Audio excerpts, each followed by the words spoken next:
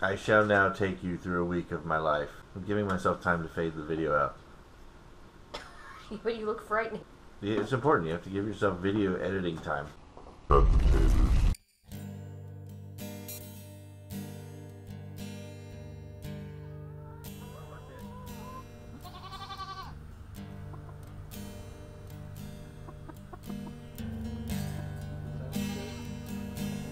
Childhood friends.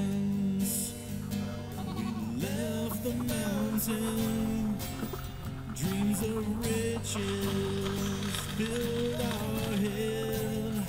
In a distant land, he lay and died and spoke to me with tears that say, Can't you hear the mountains call louder than the thunder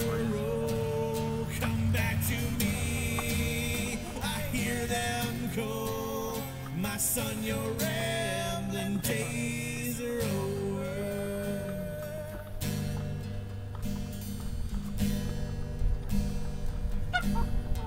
Many years, this world I roam, searching for peace of mind, until I heard the mountains call.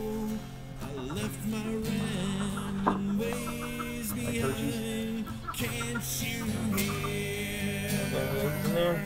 The mountains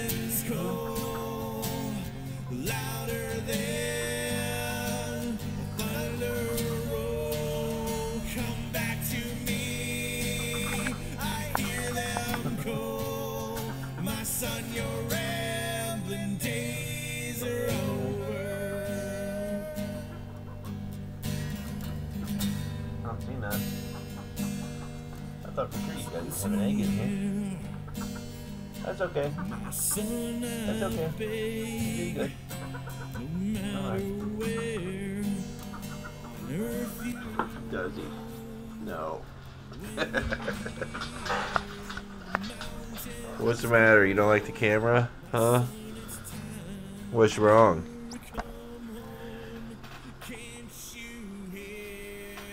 Hey, good boy. You want a tater? You want a tater? Yes. He's a good boy. I tell you what, first thing you need to do if you're gonna do this kind of work, get yourself some eye protection. You don't want anything hitting you in the eye. It's all fun and games till someone loses an eye. Next, some ear protection. Now, I've played music for a long time, and I've done quite a bit of damage to my to my hearing. I, I might be a little late in the game to, you know, to worry about my hearing now, but whatever hearing I got left, I want to hang on to. Having a cool hat helps, goes a long way. I don't know if it protects me from anything, but it, you know, it's nice, makes me feel protected. So, I'm to be working on this here guy right here. See that very good.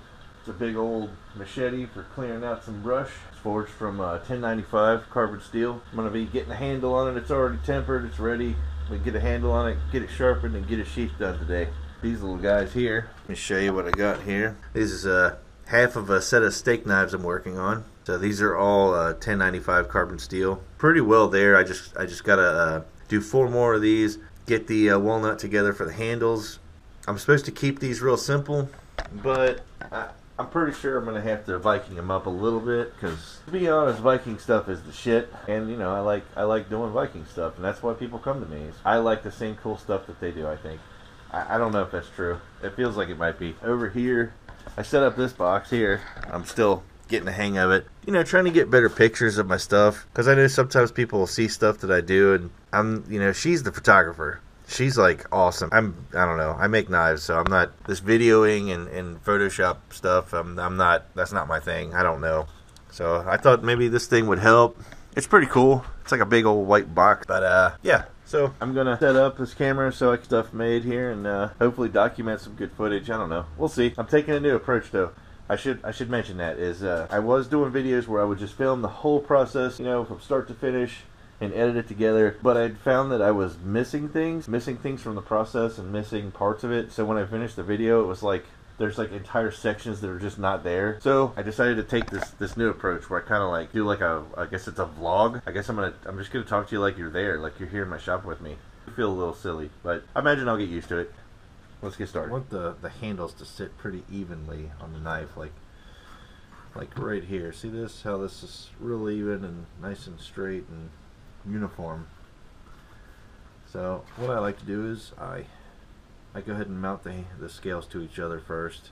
You can see they're not they're not perfect because I just cut these out of the uh, the parent stock here. So I'm gonna go to the grinder and clean this up and get this looking real even.